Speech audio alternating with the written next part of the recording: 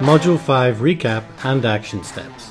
In this lesson we're going to recap Module 5 and also list all the action steps you need to take.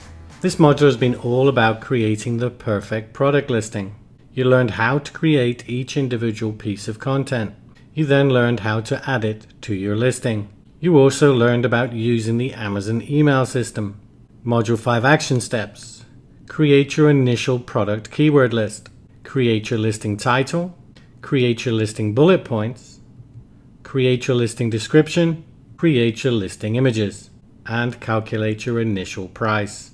Add all of the above to your product listing. Then create your initial email sequence. Finally, sign up for MBS when you have inventory or your inventory is on the way to Amazon. So what's next? So you have learned how to create the perfect product listing. In the next module, you're going to learn the perfect product launch system for starting your sales off with a bang. But that's it for this lesson and module. Take care.